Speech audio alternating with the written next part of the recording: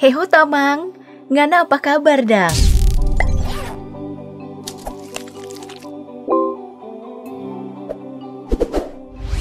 Ngoni sekarang berada di Sulawesi Utara, tempat para perempuan cantik, tempat belajar demokrasi, juga toleransi. Dari Bukit Asih menyelam ke Bunaken, dari cap tikus mencicipi bubur Manado, dari babi rusa hingga bunga bangkai, dari pasar hewan hingga gunung kelabat. Sulawesi Utara memang tempat yang kaya akan tradisi dan spesies langka. Maka kali ini kita akan ajak Ngoni semua berjalan ke Sulawesi Utara. Mari Jo!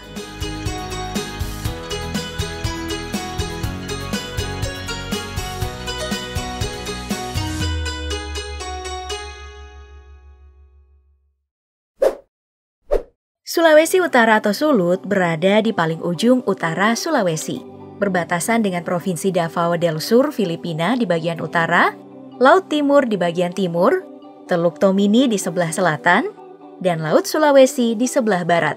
Beribu kota Manado, provinsi ini memiliki 15 kabupaten dan kota. Sulut memiliki lambang daerah yang merepresentasikan kekayaan alamnya, berupa hasil bumi yang terdiri dari pohon kelapa, dikelilingi hasil bumi seperti pala, cengkeh, dan butir padi. Di bagian bawah pohon terdapat biji-bijian jagung.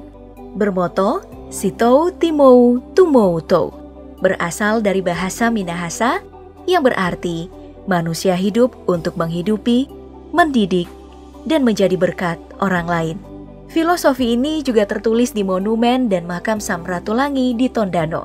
Tapi, jauh sebelum filosofi ini tertulis, sejarah Sulut telah mengajarkan hal-hal baik. Mari kita mundur sejenak di beberapa peristiwa lampaunya. Yang saksi bisunya masih ada sampai sekarang.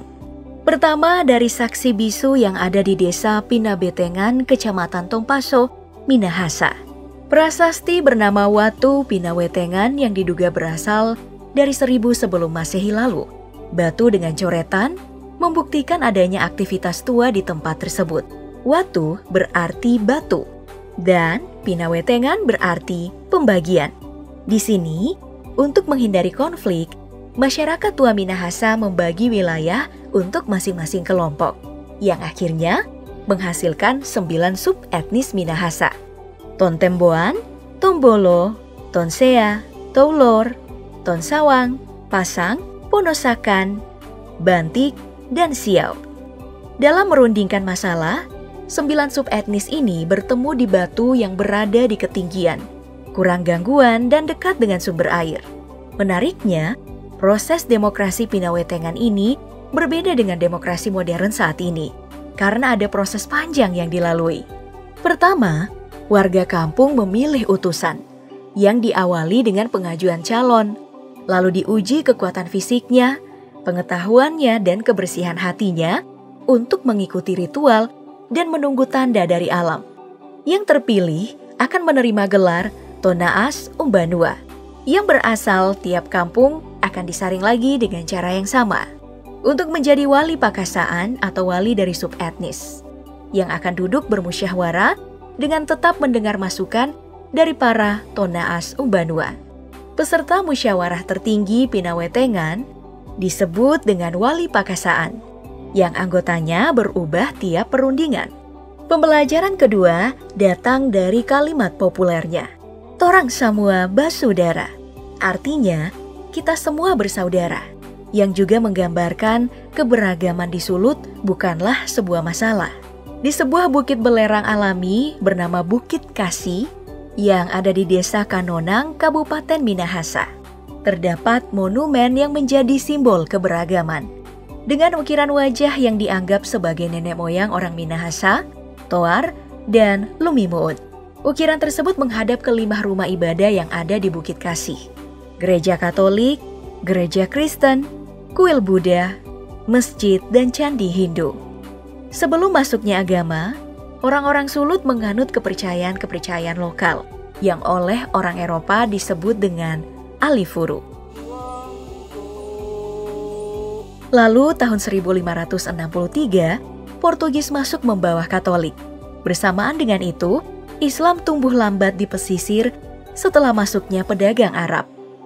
Belakangan, tahun 1660-an, Belanda masuk sekaligus membawa Protestan. Tahun 1830, Kiai Madia ulama sekaligus panglima dari Bantul selama berlangsungnya Perang Jawa atau Perang Diponegoro, dibuang ke Tondano Sulut dan mulai menyebarkan Islam di pedalaman.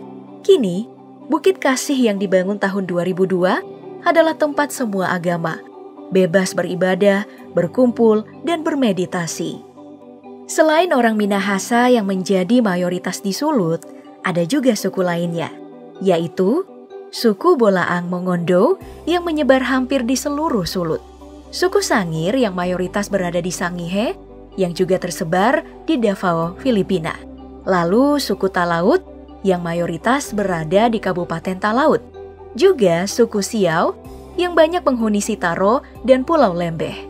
Ada pula suku Bantik di barat Manado dan Minahasa, serta suku Bajau yang berada di pesisir. Sisanya adalah pendatang yang didominasi Gorontalo, Jawa, dan Sulawesi Selatan. Tapi yang selalu menjadi daya pikat Sulut adalah perempuan Manadonya yang dianggap cantik-cantik. Banyak yang mengatakan itu karena adanya perkawinan silang Portugis Belanda sejak lama. Kamu tentu tahu pesona Mbak Gigi atau Nagita Slavina dan Mika Tambayong, seleb keturunan Manado. Manado bahkan disebut sebagai kota 3B, Bunaken, Bubur Manado, dan Bibir Manado. Membuat stigma perempuan Manado dianggap terlalu berani. Padahal Sekali lagi, itu hanyalah pandangan negatif. Perempuan sulut seperti banyak perempuan di masa kegelapan, sama-sama terkucilkan. Hingga seorang perempuan muda Minahasa, Maria Walanda Maramis mendobrak tradisi dengan membentuk organisasi Percintaan Ibu kepada Anak Temurunnya atau disingkat PIKAT pada tahun 1917 sebagai wadah kaum perempuan Minahasa untuk mencerahkan diri, mengeluarkan, dan merumuskan pandangan serta pikiran-pikirannya secara bebas. Organisasi ini berkembang pesat hingga ke Kalimantan dan Jawa, dan membangun sekolah kejuruan untuk anak-anak perempuan bernama Huis Hout School Pikat, tanpa pungutan biaya. Selain perempuan Manado, cap tikus sama populernya nih di Sulut. Minuman tradisional Minahasa yang terbuat dari fermentasi dan destilasi air nira dari pohon aren. Dulunya bernama Sopi, tapi karena pedagang Cina menjualnya dalam botol bergambar ekor tikus, maka namanya berubah. Ada juga yang mengaitkannya dengan alat penyulingan bambu mirip dengan jalan tikus. Namun yang pasti tradisi minum cap tikus telah ada sejak lama. Diminum sebelum berangkat ke lahan, untuk ritual, atau saat akan bergotong royong karena Sulut terkenal dengan kebiasaan gotong royongnya, yang dikenal sebagai budaya Mapalus, yakni sistem kerja yang berangkat dari nilai-nilai solidaritas dan saling percaya, dari Mapalus tani, nelayan, hingga bantuan duka dan perkawinan. Penerapannya terlihat dari sistem ekonomi Tamber, saling memberi secara cuma-cuma, tanpa imbalan, karena berdasarkan kekeluargaan. Contohnya, seperti ketika mengangkat rumah salah satu warga kampung. Tradisi pindah rumah dengan cara diangkat beramai-ramai ini sangat populer. Nah, untuk perayaan di Manado ada yang disebut dengan Festival Figura. Seni menirukan laku atau watak dari seorang tokoh yang diadakan saat menutup tahun. Sedangkan di Sangihe, tutup tahun dirayakan dengan perayaan Tulude. Selain perayaan-perayaan tradisional, ada juga perayaan yang diadakan oleh pemerintah – seperti parade mobil berhias bunga, Tomohon International Flower Festival. Ya, Tomohon memang dikenal sebagai kota bunga. Selain itu ada Festival Teluk Tomini, serta Festival Pesona Selat Lembeh. Biasanya diramaikan dengan pesta budaya, perlombaan kapal, dan atraksi jet ski. Kemudian ada Festival Pesona Bunaken untuk mempromosikan spot terhits di Sulut yakni Pulau Bunaken yang terkenal seantero dunia wisata bahari yang menawarkan banyak hal. Dari bibir pantainya untuk tempat berselonjoran, hingga ke kedalaman lautnya tempat favorit para scuba diver. Surga perairan Bunaken adalah tempat 91 jenis ikan. Di kawasan ini juga terdapat 13 jenis terumbu karang. Nah, Yang paling menarik adalah terumbu karang curam vertikal sedalam 25 hingga 50 meter. Saking kayanya, Taman Nasional Bunaken sering dijuluki sebagai gambaran ekosistem perairan tropis Indonesia.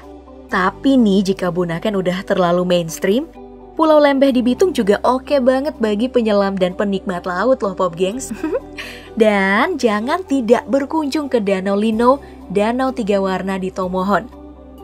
Air terjun tahapan teluh di Minahasa. Dan jika ingin bersantai sejenak, hmm, kamu bisa menikmati pemandangan kota Manado dari puncak Tete Tanah, Kumelembuai yang dipenuhi bunga dan Bukit Teletabis, menawarkan pemandangan yang mempesona. Untuk wisata kuliner, kamu bisa nyobain bubur Manado alias tinutuan langsung di tempatnya. Hmm, bubur dengan campuran sayuran berupa labu kuning, singkong, bayam, kangkung, daun gedi, jagung, dan kemangi. Sehat gak tuh? Sebenarnya tidak ada campuran daging agar menjadi makanan pergaulan antar kelompok yang beragam di Manado. Saat ini biasanya dijadikan sarapan dan telah disajikan dengan ikan teri atau daging merah. Tapi untuk pemakan segalanya sepertinya pasar hewan yang ada di desa Paslaten 1 Tomohon cocok nih untuk kamu. Segala hewan di pasar ini dijual untuk bahan makanan. Dari hewan melata, kucing, kelelawar, anjing, kelinci, monyet semuanya. Makanya ada kelakar nih yang mengatakan, kecuali kursi, semua yang berkaki empat bisa dimakan di sini. Widih. Tapi tenang, tidak semuanya juga sih. Karena tangkasi Tarsius spectrum adalah hewan endemik yang dilindungi di Sulut. Dan primadona ini telah masuk dalam daftar hampir punah. Saat ini, mereka mendiami kawasan cagar alam Tangkoko dan Taman Suaka Marga Satwa, Tandurusa, Kota Bitung. Kawasan ini juga didiami oleh monyet hitam atau macaca nigra, salah satu hewan endemik Sulawesi. Juga burung hantu yang bernama latin Otus manadensis yang disucikan oleh orang-orang Minahasa. Ada juga burung maleo yang anaknya saat baru menetas langsung bisa terbang.